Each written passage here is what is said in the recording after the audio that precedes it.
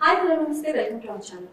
So మంచి content ఉన్న movies ప్రేక్షకులు ఎప్పుడూ ఆదరిస్తూనే ఉంటారు. ఒక మంచి మెసేజ్తో మంచి కంటెంట్ ఉన్న మూవీ అందరూ బాగుండాలి అందులో నేను ఉండాలి. రేపు అంటే అక్టోబర్ ట్వంటీ ఎయిత్ ఆహార స్ట్రీమింగ్ అవబోతుంది. ఎంతో మంది గొప్ప నటీ నటులు నటించారు ఇందులో. అందులో ముఖ్యంగా పన్నెండు వందలకు పైగా సినిమాలు చేసి ఆయన పేరు విన్నా ఆయనను చూసిన ఒక స్క్రీన్లో ఒక మంచి ఆనందంగా ఆహ్లాదకరంగా ఉంటుంది నవ్వుతూనే ఉంటాము. పరిశ్రమక్కర్లేని పేరు అలీ గారు మనతో పాటు ఉన్నారు. అండ్ అలాగే ఇంత మంచి మూవీని అందిస్తున్న ప్రొడ్యూసర్ గారు మోహన్ గారు మనతో పాటు ఉన్నారు. వీరిద్దరితో పాటు ఒక చిన్న సర్ప్రైజ్ ఉంది. నేను చెప్పడం కంటే మీరు చూస్తే బాగుంటుంది. ఎస్ హలో అండి సో ఇదైతే మాకు నిజంగా సర్ప్రైజ్ మాకు అండ్ మా ఆడియన్స్కి వెల్కమ్ అండి. చాలా. వెల్కమ్ అండి. ఫస్ట్ ఆఫ్ ఆల్ కంగ్రాచులేషన్స్ అండి మీ అందరికి. And ముఖ్యంగా అసలు ఫస్ట్ ఈ టైటిల్ అందరూ బాగుండాలి అందులో నేను ఉండాలి. ఇంత పాజిటివిటీ నింపుతుందంటే అండ్ ట్రైలర్ కూడా చూసాము. అసలు ఆ మూవీలో ఈ టైటిల్ని ఎలా ఫిక్స్ చేశారు? అంటే నేను ఒక సినిమా ఓపెనింగ్కి వెళ్ళాను. ఫిలిం నగర్ టెంపుల్లో బాలసుబ్రహ్మణ్యం గారు ఒక గెస్ట్ నేను ఒక గెస్ట్. ఆయన స్క్రిప్ట్ చేతికిచ్చారు. బోయపాటి గారు క్లాప్ కొట్టారు. నేను కెమెరా స్విచ్ ఆన్ చేశాను గుణా three six nine. Yes so అయితే ఆ సినిమా టైంలో జనరల్గా వెహికల్స్ మీద వెనకాల రాసి ఉంటుంది. అందరూ బాగుండాలి అందులో నేను ఉండాలి. అది ఈ టైటిల్ చాలా పాజిటివ్గా ఉంది. ఎందుకు ఈ టైటిల్ మనం పెట్టకూడదు అని చెప్పి ఆ రోజు నేను అనుకున్నా. సో ఎప్పుడైనా ఫ్యూచర్లో మనం సినిమా తీస్తే ఈ టైటిల్ పెట్టాలి అనుకొని కొంతమంది ఫ్రెండ్స్ ఉన్నారు డాక్టర్ శ్రీనివాస్ గారిని మా ఫ్రెండ్ అలాగే బాబా అని మా రిలేటివ్ మోహన్ కొడతాల. అండ్ అలాగే కిరణ్. కిరణ్ మేమంతా కలిసి చెన్నైలో ఉండేవాళ్ళం. సో ఒక సినిమా చూసాం మలయాళంలో. బాగుంది. ఆ సినిమాకి డేట్లు ఎందుకు పెట్టకూడదు అనే ఆలోచన వచ్చింది. సో అందుకోసం అందరూ బాగుండాలి అందులో నేను ఉండాలి అని చెప్పి టైటిల్ పెట్టడం జరిగింది. ఇది ఎప్పుడైతే జనాల్లో ఇది సక్సెట్ అయిందో అందరూ కూడా "ఏ, టైటిల్ భలే ఉంది టైటిల్ భలే ఉంది టైటిల్ భలే అంటే నిజంగానే ఇది చాలా పాజిటివ్గా ఉండే టైటిల్ ఇది. సో ఎందుకంటే అందరూ బాగుండాలి అందులో నేను ఉండాలి అని అనుకుంటారు కదా. ప్రతి వాళ్ళు. సో అందుకోసం ఎందుకంటే ఈ కరోనాలో మనం ఎంతోమంది పోగొట్టుకున్నాం. చాలామంది సొంత వాళ్ళు ఫ్రెండ్స్ దూర బంధువులు వాళ్ళు కూడా చాలామంది వెళ్ళిపోయారు. ఆ- టైంలో చాలా బాధేసేది. అరే ఎందుకు కూడా ఈ- ఇది వచ్చింది అని. సో ఆ టైంలో ఈ టైంలో ఒక ఆలోచన రావడం మా ప్రొడ్యూసర్కి చెప్పడం తను ఆల్రెడీ ఎస్ భయ చాలా బాగుంది. దీన్ని మనం చేద్దామని చెప్పి వేరే వాళ్ళు ఎవరో దీన్ని రిజిస్ట్రేషన్ చేయించుకుంటే వాళ్ళు మళ్ళీ రెండు వేలు చేయించుకోలేదు. చేయించుకోకపోతే లక్కీగా ఆ టైటిల్ నాకు దొరికింది. సి కళ్యాణ్ గారు మీరు పెట్టుకోవచ్చు అనగానే ఇమ్మీడియట్గా చేంబర్కి వెళ్ళి మనం కన్ఫర్మేషన్ చేసి అక్కడ అమౌంట్ కట్టి ఈ సినిమాకి టైటిల్ పెట్టుకున్నాం. సో చాలా పెద్ద స్టోరీ ఉంది. అండ్ ఇంకోటి ఏంటంటే ఇప్పుడు వచ్చే మూవీస్ అన్ని చిన్న చిన్న షార్ట్ కట్స్ ఆ. అండ్ కొన్ని మీనింగ్లెస్గా ఉంటున్నాయి కొన్ని మీనింగ్ఫుల్గా ఉంటున్నాయి వెరీ షార్ట్ కట్స్ ఆ. కానీ ఇది చాలా meaningful and very lengthy and చాలా గుర్తుండిపోతుంది అందరికి. సో ఇందులో నేను అనేది ఎవరు? మీరా? నరేష్ గారు. యాక్చువల్గా ఈ సినిమాలో నరేష్ గారు తర్వాత నేను. ఆయన నా ఫ్యామిలీ బాగుండాలి నేను బాగుండాలి అనుకున్న వ్యక్తికి చిన్న ప్రాబ్లం స్టార్ట్ అయ్యింది. ఆ ప్రాబ్లం నా ద్వారా స్టార్ట్ అయింది నేను కూడా అనుకోలేదు ఇది ప్రాబ్లం అవుతుందని. అంటే ఒక చిన్న మిస్టేక్ ఎంత దూరం అయిపోతుంది ఏం జరుగుతుంది ఎన్ని జీవితాలు మార్చేస్తుంది అనేది ఈ సినిమా. సో అందుకోసం ఇందులో నరేష్ గారు చూడగానే ఎక్స్ట్రా అనేది చాలా బాగుంది. డెఫినెట్గా పబ్లిక్ కానీ ఇది కానీ ఎక్కిందంటే డెఫినెట్గా నువ్వు సక్సెస్ అయ్యి అని నరేష్ గారు చెప్పడం జరిగింది. పవిత్ర లోకేష్ గారు. అలాగే భరణి గారు అలాగే సప్తగిరి భద్రం. మన మనోదర్. మనోదర్ అడగగానే పట్టుకొని వచ్చి ఆయన చాలా గమ్మత్తుగా ఉంటది. ఇందులో ఆ మాటలు ఆ ట్రైలర్లో డైలాగ్ చూసాము చాలా బాగుంటుంది. దాంట్లో కూతురు వేషం. తను యాక్ట్ చేసింది. తను యాక్చువల్లీ చెప్పాలంటే డాక్టర్ రియల్ డాక్టర్. అంటే మీకు గుర్తుందో లేదు ఇది నా ఫస్ట్ మూవీ అని మీరే సెలెక్ట్ చేశారు కూడా నన్ను. అవునా? డైరెక్టర్ గారు కాదు ఎవరు కాస్ట్ మీరే డైరెక్ట్గా నన్ను సెలెక్ట్ చేశారు. ఎవరో వచ్చి చూపిస్తే చూపించారు. చూపించగానే బాగా పెట్టేయండి అన్న సో ఆ రోజున షూటింగ్ రావడం. అంటే స్పెక్స్ ఉన్నాయి. అంటే క్యారెక్టర్ కోసం పెట్టారు. క్యారెక్టర్ జర్నలిస్ట్ క్యారెక్టర్ కాబట్టి మొత్తం స్పెక్స్ తోనే క్యారీ ఓవర్ అవుతుంటారు ఆ, ఓకే అండ్ ఇంకొకటి ఏంటంటే అసలు ఈ మూవీస్లో ఇన్ని ఇయర్స్గా చేస్తున్నా చాలా మంది ఏదో ఒక వేరే అంటే డైరెక్షన్ గాను ప్రొడ్యూసర్ గాను అవతారం ఎత్తేస్తారు. మీరు ఈ మూవీకి ఎందుకు ఎత్తారు? ఇన్ని ఇయర్స్ ఏంటి అసలు? అంటే మా మోహన్కి ఒక కోరిక ఉండేది. ఒక సినిమా చేయాలి. మన సినిమా చూస్తుంటాం బాగుందా లేదా మనం చెప్తూ ఉంటాం ఒక అద్భుతమైన సినిమా తీస్తే ఎప్పుడైనా ఫ్యూచర్లో నన్ను గుర్తుపెట్టుకోండి భయ్యా అన్నాడు. సరే మోహన్ తప్పకుండా అని చెప్పి మోహన్కి ఫోన్ చేసాను ఫిఫ్టీన్ ఇయర్స్ అవుతుంది కదన్నా? ఫిఫ్టీన్ ఇయర్స్ అవుతుంది. ఫిఫ్టీ ఇయర్స్ బ్యాక్ అడిగాడు సినిమా తీస్తాను అడిగాను. వెయిట్ చేయి తొందరపడుకో ఎందుకంటే ఏదన్నా మన ప్రోడక్ట్ చేసేటప్పుడు మళ్ళీ మనకి మన డబ్బులు మనకు వస్తే చాలు లాభం అది దైవాదినం లాభం వస్తుందా లేదా అనేది. మనం ఏదో తొందరపడి పెట్టేస్తే అది మళ్ళీ వెనక్కి రప్పించుకోవాలంటే చాలా కష్టం. వెయిట్ అని పదిహేను సంవత్సరాల క్రితం చెప్పా. సో ఇప్పుడు ఈ ట్వంటీ టూలో అది. పదిహేను సంవత్సరాలు వెయిట్ చేసినందుకు ఒక మంచి మూవీతో వచ్చారు అసలు ఫస్ట్ ఆఫ్ ఆల్ ఆ స్క్రిప్ట్ వినగానే మీకు ఇది ఎందుకు ప్రొడ్యూస్ చేయాలనిపించింది? చిరస్థాయిగా ఉండిపోద్దండి సినిమా. డెఫినెట్లీ మనం చెప్పుకోవడానికి ఒక టైటానిక్ సినిమా ఒక బాహుబలి ఒక అందరూ బాగుండాలి అందులో నేను ఉండాలి. డెఫినెట్గా ఎందుకంటే సినిమాలు అందరూ చూస్తారు. కొన్ని సినిమాలే వాళ్ళ గుండెల్లో ఉంటాయి. మెయిన్ ఏంటంటే ఈ సినిమా అన్నది కేవలం నేను కథ ఆ టైటిల్ మా మనస్తత్వాలు అలాంటివి. ఇక్కడ మేము డబ్బుల కోసం సినిమా తీయలేదు. అలాగని ఒక ఏదో కోట్లు సంపాదించాలను ఇలాంటి ఉద్దేశం అయితే ఏం లేదు. ప్రజల్లో ఒక మార్పు రావాలి. ఈవేళ ఒక సెల్ ఫోన్ పెట్టుకొని వాళ్ళు ఒక వీడియో అప్లోడ్ చేస్తే ఆ వీడియో వాళ్ళకి సరదా. వాళ్ళకి వచ్చే వ్యూస్ వాళ్ళకి ఒక పది పైసలు ఐదు పైసలు వస్తుందేమో తప్ప దానివల్ల కొన్ని వందల వేల మంది జీవితాలు పోతున్నాయని సంగతి చాలా మందికి తెలియదు బట్ ఈ సినిమా ప్రతి ఒక్కరికి గుర్తుంటుంది బహుశా అలాంటి వాళ్ళు కూడా అయ్యో తప్పేమో ఇలా చేస్తే అనే విషయం కూడా తెలుస్తుంది. ఈ సినిమా అందరూ బాగుండాలి అందరూ ఉండాలి అంటే ఒక ఇన్నోసెంట్ ఫ్యామిలీ ఎలా రోడ్డెక్కేసింది వాళ్ళ వల్ల వాళ్ళ కుటుంబం చిన్న పిల్లలు కూడా ఎంత ఇబ్బంది పడ్డారని సినిమా అండి ఇది మా మనస్తత్వం. మా కుటుంబాల మనస్తత్వాలు బాగా కనెక్ట్ అయింది. నేను ఆలీ గారితో సుమారు ఇరవై ఐదు సంవత్సరాల నుంచి మా ఇద్దరం ఒక మంచి ఫ్రెండ్షిప్గా వెళ్తున్నాం ముందుకి. యాక్చువల్గా సినిమా తీయొద్దనేసారు నేను కూడా సినిమా జోలికి వెళ్దలుచుకోలేదు. బట్ ఈ సినిమా ఏంటంటే ఇది మా ఫ్యామిలీలకి మా కుటుంబాలకి ఈవేళ మన తెలుగు రాష్ట్రాల్లో ప్రతి కుటుంబాల్లో టచ్ అవుతుంది. వీళ్ళు చేస్తే ఎలా సినిమా తీయాలి. లేకపోతే సినిమాలో వెళ్ళకూడదు నెక్స్ట్ తీసినప్పుడే ఇలాంటి సినిమాలే తీయాలని మా అలీ గారు మాకేదో మన సలహాలు ఇచ్చి మాకు తోడుగా ఉంటే నేను ఖచ్చితంగా మళ్ళీ చేయడానికి సిద్ధంగా ఉంటానండి. అండ్ ట్రైలర్ కానీ మూవీ మేకింగ్ కానీ ఇవన్నీ చూస్తుంటే ఆ ప్రొడక్షన్ వాల్యూస్ అనేవి బాగా తెలుస్తున్నాయి. మీరు కానీ అలీబాబా గారు కానీ and Hollywood entertainment especially.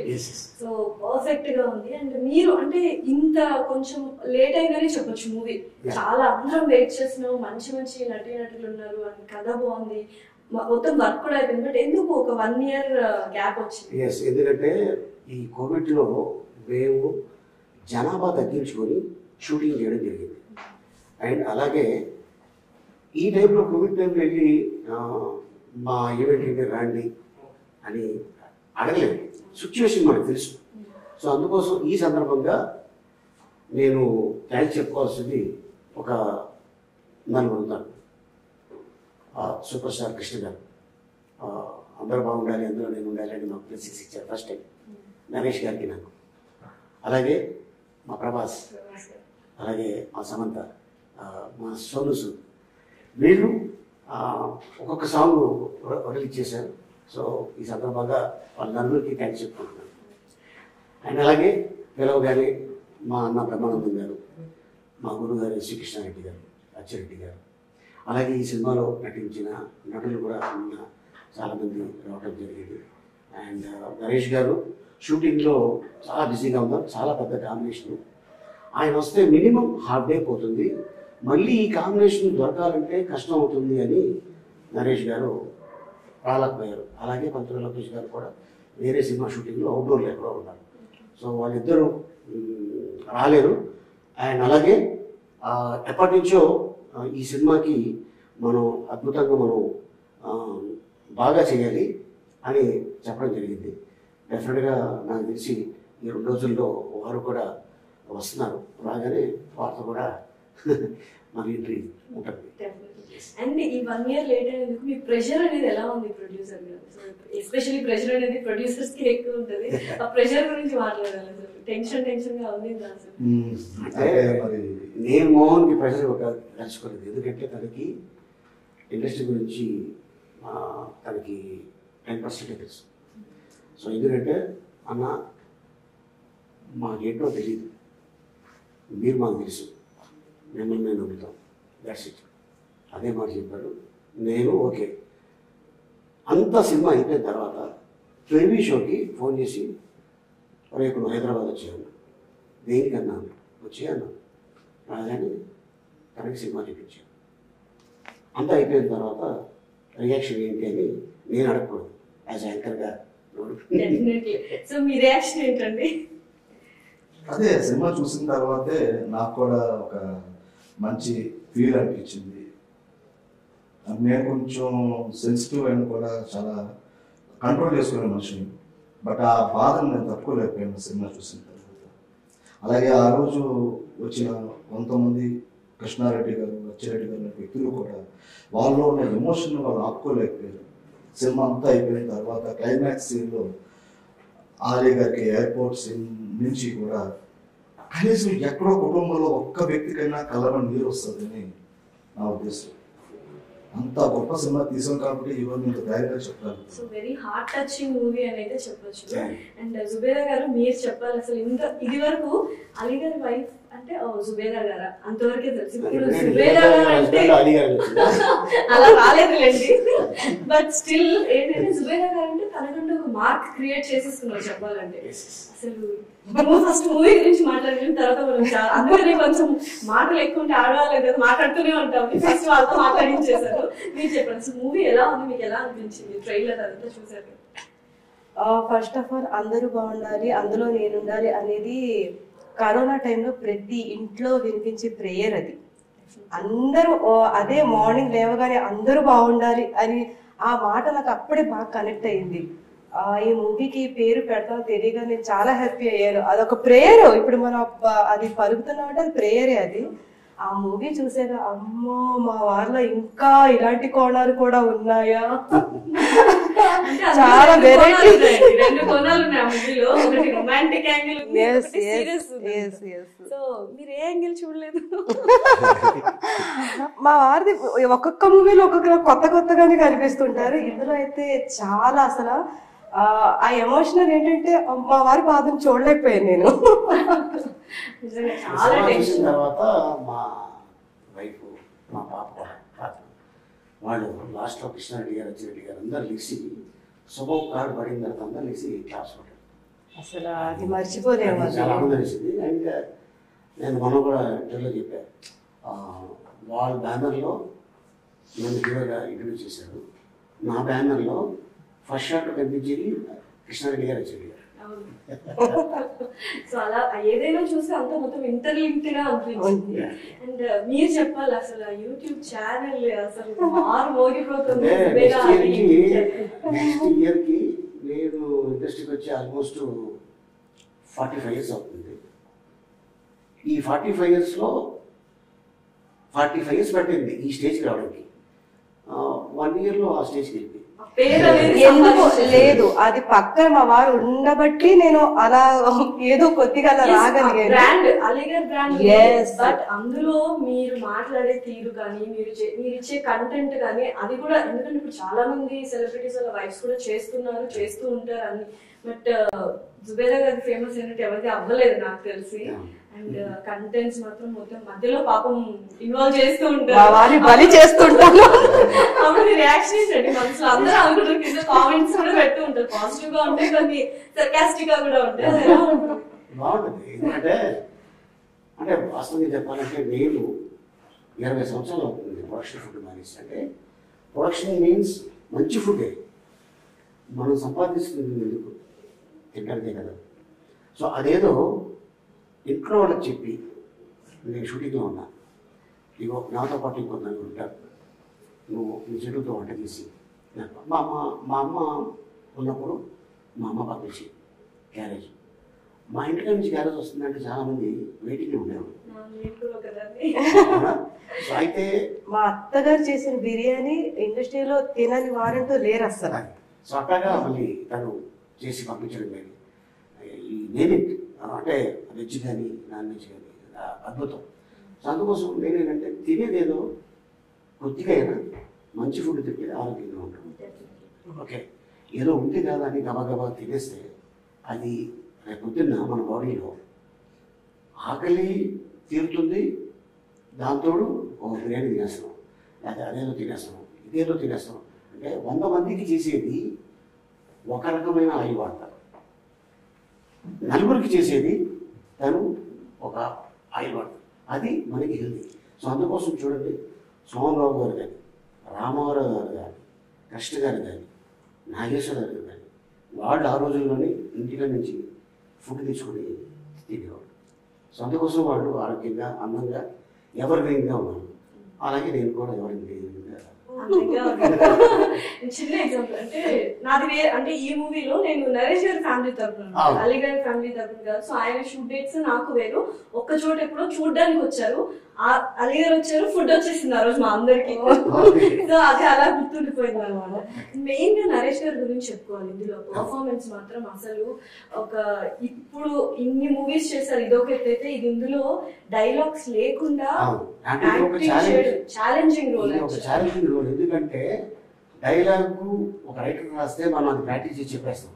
But ఇదేంటంటే ఆ డైలాగ్లో ఏముందో అర్థం అది మనం ఇక్కడ చూపించాలి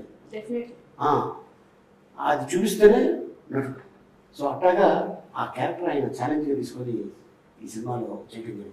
ఆయన ఇంటర్వ్యూలో కూడా చెప్పాడు. నేను మూడు వందల పైన సినిమాలు యాక్ట్ చేశాను. ఏ సినిమాకి ఇంత కష్టపడలేదు ఈ సినిమాకి అంత కష్టపడ్డా. ఆయన ఇంకోటి ఏంటంటే మా డైరెక్టర్ని పిలిపించుకొని ఇంటికి క్లైమాక్స్ సీన్కి ఒక నాలుగు గంటలు వాళ్ళిద్దరు ఆరు గంటల నుంచి రాత్రి పది గంటల వరకు వర్క్ చేసి క్లైమాక్స్లో ఎందుకంటే తను బాధ చెప్పాలి ఆ సీన్లో. అండ్ అలాగే ఓకే ఏం అయితే ఏం జరిగిందంటే మన హోంవర్క్ చేసుకొని ఎయిర్పోర్ట్కి వచ్చిన తర్వాత అది రాత్రి చెప్పే ఉంటాడు నీ డైరెక్టర్ అన్నాడు చెప్పాడు కిరణ్ చెప్పాడు. చాలా అద్భుతమైన సీన్ ఇది. నాకు టైం కావాలి. ఏ ఆ రోజు మా క్లా మా డైరెక్టర్ మూడు కెమెరాలు కావాలి అలాగే ఏంటంటే మళ్ళీ మళ్ళీ ఆ ఫీల్ వస్తుందో రాదో తెలీదు. నాకు కొంచెం ఈ ఒక్కరోజు ఆ రెండు కెమెరాలు ఎక్స్ట్రా రెండు కెమెరాలు కావాలి ఏ పని ఒకటి తీసుకో చేసుకొని అట్లాగే ఆయన చేశాడు అట్లాగే పండింది అందుకే మేము లాస్ట్లో ఆ- ఫీల్ కూడా వచ్చింది. డెఫినెట్గా అంటే మా సినిమా గురించి మేము ఎక్కువ చెప్పుకుంటే ఎక్కువ చెప్తున్నారేమో అనుకుంటాను బట్ చూసిన వాళ్ళు అలా చెప్తే నేను హ్యాపీ అండ్ యూజువల్గా అంటే సినిమా నేను కూడా అందులో ఉన్నాను కాబట్టి ప్రతి ఒక్కరికి ప్రతి ఒక్క పాత్రకి ఒక క్యారెక్టరైజేషన్ అనేది ఉంది. ఎలా పర్ఫార్మెన్స్ చేయాలి అనేది ఒక డైరెక్టర్ గారు ఎక్స్ప్లెయిన్ చేస్తేనే తెలుస్తుంది. సో అది ఎంత క్లియర్గా ఎక్స్ప్లెయిన్ చేస్తే అవుట్పుట్ అనేది అంత బాగా వచ్చింది. సో కిరణ్ గారి గురించి ఏం చెప్తారు? సిర్పూర్ కిరణ్ తను గతంలో రైటర్ డైలాగ్ రైటర్ డబ్బింగ్ సినిమాలు చాలా సినిమాలకి చేసి ఉన్నాను శంకర్ గారితో ట్రావెల్ చేసి ఉన్నాడు ఈ సినిమా తీసుకొచ్చింది తనే.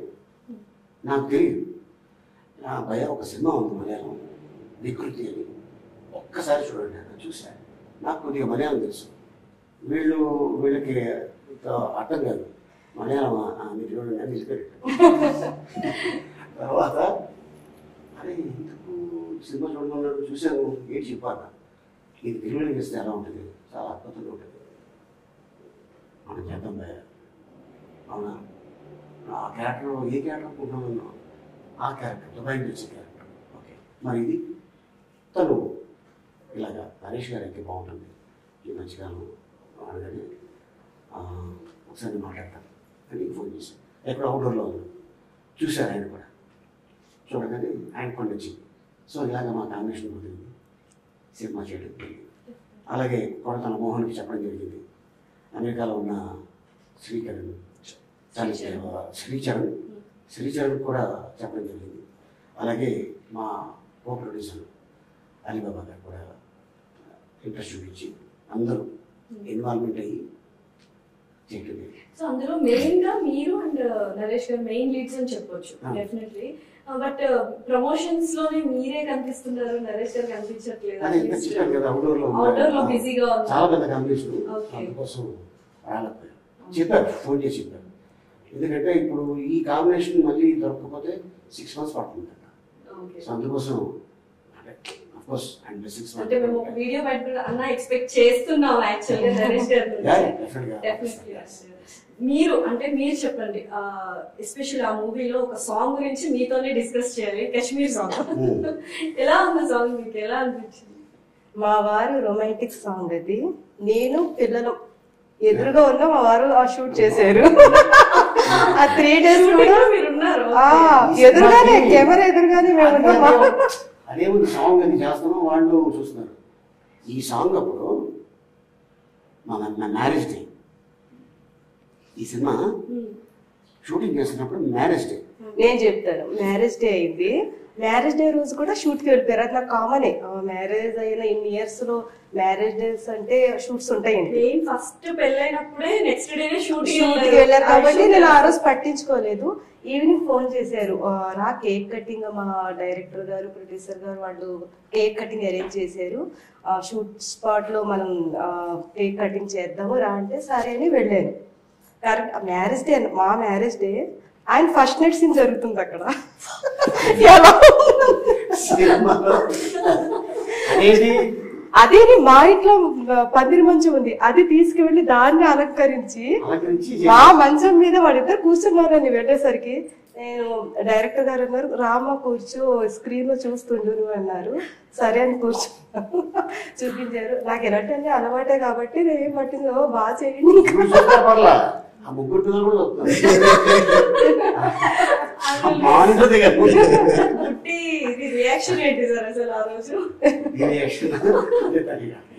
కానీ ఆ ఆ మూవీలో చూడండి ఆ ఫస్ట్ నైట్ సీన్ ఎలా మారింది అనేది సస్పెన్స్ వాడికి పెళ్ళి జరిగిందని ఒక ఆనందం తప్ప ఆనందం సంతోషం ఉంటుంది.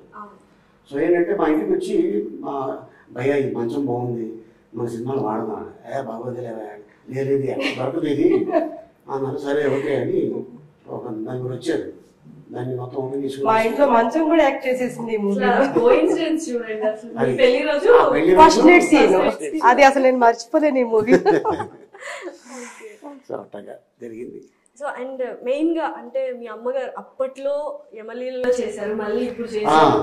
మంజు భార్గవి గారు సనా గారు దీంట్లో వదిలి గారు చేశారు అలాగే మా వివేక్ గారు ఆడిటర్ వారు కూడా నాకు అన్నయ్య క్యారెక్టర్ చేయడం జరిగింది. అలాగే రామ్ చరణ్ మావయ్య క్యారెక్టర్ చేయడం జరిగింది. అలాగే సిస్టర్ క్యారెక్టర్ తర్వాత ఇక మిగతా క్యారెక్టర్స్ కూడా తోడైంది. అంటే ఆఫ్టర్ థర్టీ ఇయర్స్ ఎమ్మెల్యేగా నెక్స్ట్ ఇయర్కి థర్టీ ఇయర్స్ సో మళ్ళీ ఆ సినిమాలో నాకు మదర్గా చేశాను మళ్ళీ థర్టీ ఇయర్స్ తర్వాత మళ్ళీ మదర్గా. Yeah.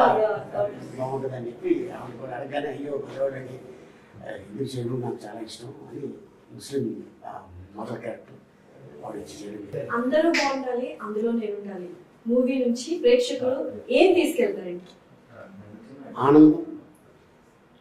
ఒక అద్భుతమైన మెసేజ్ ఆ, ఇలా చేయకూడదు అని జనాల్లో అది వైరల్ అవుతుంది.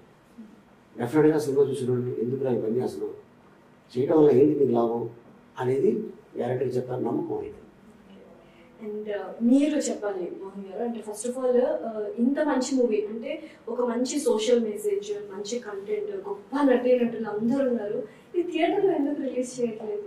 యాక్చువల్లీ ఇప్పుడు ఓటీటీ రిలీజ్ చేసిన తర్వాత చాలా మంది నన్ను కానీ మా ఆర్య గారిని డైరెక్టర్ గారిని మా కో ప్రొడ్యూసర్స్ని కూడా అడిగే విషయం ఏంటంటే థియేటర్లోకి ఎందుకు రిలీజ్ చేయలేదు అని. యాక్చువల్లీ మా థియేటర్లో చేయాల్సిన పరిస్థితి మాకు లాస్ట్ ఇయర్ వరకు ఉండింది. ఒక కంపెనీకి మేము అగ్రిమెంట్ రాసుకోవటం ఆ కంపెనీ అతను ఇన్ టైంకి మాకు సరిగ్గా రెస్పాన్స్ అవ్వకపోవటం మేము అగ్రిమెంట్ రాసేసాం థియేటర్స్ మొత్తం అవుట్లెట్కి ఇచ్చేద్దాం బట్ ఆయన రెస్పాండ్ అవ్వకపోవడం ఆయన ఒంట్లో బాగోకుండా ఉండటం వల్ల కొన్ని ప్రాబ్లమ్స్ వల్ల ఇప్పుడు ఓటీటీకి రిలీజ్ చేయాల్సి వచ్చింది. అంతే తప్ప యాక్చువల్లీ యూనో ఈ సినిమాకి మన మలయాళం సినిమాకి చూస్తే కూడా బడ్జెట్ కూడా చాలా ఎక్కువ పెట్టేసి పెట్టాల్సి వచ్చిందండి. సో మీన్ వైల్ ఈ సినిమా వరకు వచ్చేసరికి ఆలయం చెప్పినట్టుగా మనకు మంచి పేరు వస్తుందండి. ఒకటే మాట్లాడుతారు ఈ సినిమాను థియేటర్లోకి ఎందుకు రిలీజ్ చేయలేదు? ఓటీటీలోకి ఎందుకు పెట్టారో నాకు ఖచ్చితంగా అడుగుతారు. బికాస్ అంత ఫీల్ గుడ్ మూవీ ఎందుకంటే మీరు కూడా ఇందులో నటించారు కాబట్టి ఆయన మీకు కూడా బాగా తెలుసు విషయం. మంచి సినిమా తీసామండి మా అందరం కలిపి మంచి సినిమా తీసాం. ఈ సినిమాని మా డైరెక్టర్ గారు మంచిగా చిత్రీకరించారు. అలాగే మా కో ప్రొడ్యూసర్ బాబా గారు కావచ్చు శ్రీచంద్ర గారు కావచ్చు కూడా మా అందరికి బాగా సహకరించారు. మిగతా నటి నటులు అందరూ కూడా మీతో సైతం. Hundred percent. మన మార్నింగ్ తొమ్మిది గంటలకు రమ్మంటే పాదు తొమ్మిదికి వచ్చే లొకేషన్ గురించి అన్ని విధాలు కూడా సహకరించిన మీ అందరూ కూడా నా ధన్యవాదాలు థ్యాంక్ యూ అండి ఆహా అనేది మంచి ప్లాట్ఫామ్ యాక్చువల్గా ప్రతి ఒక్కరూ అందులో డెఫినెట్లీ థియేటర్కి వెళ్ళి చూస్తారో లేదో తెలియదు కానీ ఆహాలో మాత్రం ఖచ్చితంగా మూవీని చూస్తారు అనమాట ఏదో ఒకళ్ళు ఫ్యాన్స్ ఉన్నారు ఇక్కడ. నేను మాత్రం జుబేదా గారి ఫ్యాన్స్ అండ్ యూజువల్గా అంటే మూవీలో ఏదైనా అనుకుంటే మనము డెఫినెట్లీ తొందరగా అయిపోవాలి ఇది అయిపోవాలి.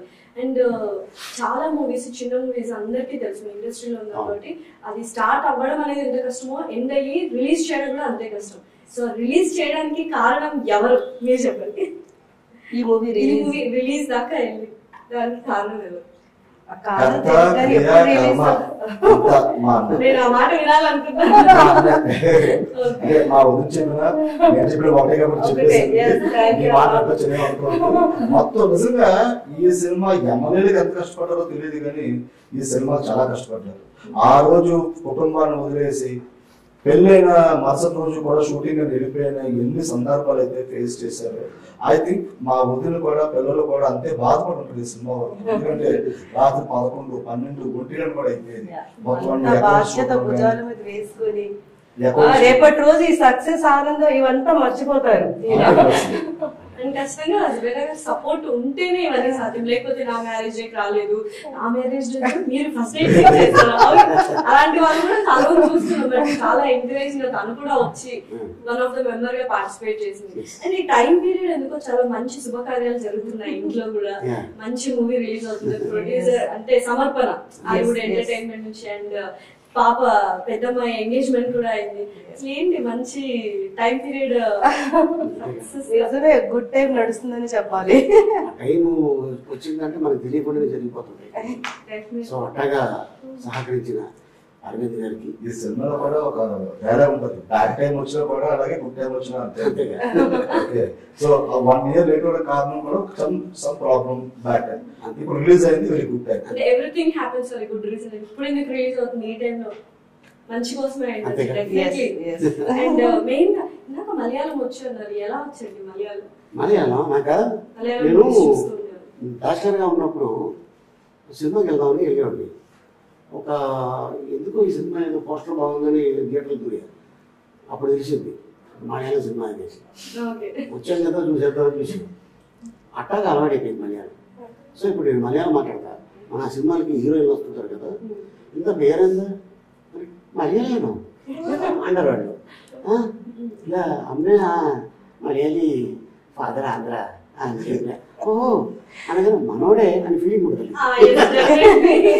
అనగానే నాకు పది ముక్కలు తెలుసు ఆ పది ముక్కలు మాట్లాడతా దానిపైన ఏదైనా అడిగితే ఐసి మధ్యలో చాట అనుకుని రావాల్సిందే మాట్లాడచ్చు Ah, మా- మన మూవీ గురించి మలయాళంలో మలయాళం പിന്നെ ഇത് ഒരു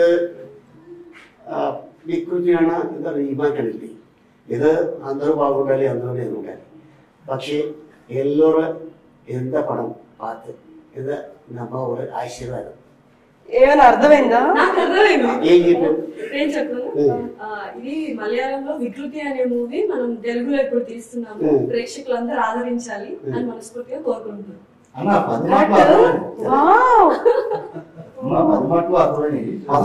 చెప్పండి. మాట ఎవరికి అర్థం కాదు. అది మీకే జర్నీ కాబట్టి మీకే తెలియాలి. సో ఓవరాల్గా మూవీ గురించి మీరేమనుకుంటున్నారు? ప్రేక్షకులకి ఏం చెప్పాలనుకుంటున్నారు? అండ్ ప్రమోషన్స్లో భాగంగా మీరు వచ్చారు అందరికీ హ్యాపీ సో మీరేం చెప్పాలనుకుంటున్నారు? ఇది చాలా డెఫినెట్గా అందరి మనసులో నిలిచిపోయే మూవీ ఇది. ఇందులో ఒక మంచి మెసేజ్ ఉంది. ఈ మెసేజ్ ఈ ఈ తరం ఇప్పుడు చాలా ఇంపార్టెంట్ మెసేజ్ ఇది. ఇది మా వారు ఈ మూవీ ద్వారా అందరికీ తెలియపరచడం నాకు చాలా హ్యాపీగా ఉంది. అయ్యా ఈ సందర్భంగా సంసార వాళ్ళకి నేను థ్యాంక్స్ చెప్పాలి. Thank you so much sir ఎవరైతే ఆ రోజున మెంబర్స్ ఉన్నారో అందరూ చూసి చాలా మంచి సినిమా తీశారు అడిగారు డైరెక్టర్ గారిని కూడా పిలిచి మేము ఒక సినిమాను చేద్దాం అనుకుంటున్నాము. సినిమా రిలీజ్ అయిన తర్వాత అప్పుడు చేయండి sir. So thank you sir ఈ సందర్భంగా మీ అందరికీ. ఎందుకంటే చాలా కాలం తర్వాత వాళ్ళకి అద్భుతమైన సినిమా చూసి వాళ్ళు కూడా ఫీల్ అయ్యారు జనరల్గా వాళ్ళు రోజు ఎన్నో సినిమాలు చూస్తారు చూస్తుంటారు సో అందులో ఈ ఒక సినిమా. సో వాళ్ళకి నన్ను పొగడాల్సిన అవసరం లేదు. అంతే కదా? సో వాళ్ళు డైరెక్ట్గా యూ సర్టిఫికేట్ ఇచ్చారు. అడగకుండా ఈ రోజుల్లో యూ సర్టిఫికేట్ ఇవ్వడం అనేది మామూలు విషయం కాదు. So thank you sir. ఈ సందర్భంగా మీ అందరికీ. అంటే ఈ మూవీ గురించి మాట్లాడుతున్నంతసేపు మెసేజ్ అని కంటెంట్ అని చూస్తుంటే నాకు రెండు మంచి సినిమాలు గుర్తొస్తున్నాయి. కంపారిజన్ చేయొచ్చో లేదో తెలియదు మీరే చెప్పాలి. శ్రేయోభిలాషి అండ్ నలుగురు అని రాజేంద్ర ప్రసాద్ గారు మంచి అసలు ఎంత మంచి సక్సెస్ని సాధించారో తెలుసు మనకు. ఆ రెండు మూవీస్ గుర్తొస్తున్నాయని చెప్పొచ్చు. కృష్ణారెడ్డి గారి సినిమాలు వంశీ గారి సినిమాలు అలాగే ఈవివి సత్యనారాయణ గారి సినిమాలు ఒక బ్యూటిఫుల్ మెసేజ్ ఉండేది. ఫ్యామిలీ సెంటిమెంట్ సినిమాలు ఉండేవి అండ్ అంటే ఫ్యామిలీతో వెళ్ళి కూర్చొని థియేటర్లో ఓకే ఈ సినిమా చూడొచ్చు మనం అని ఉండేది.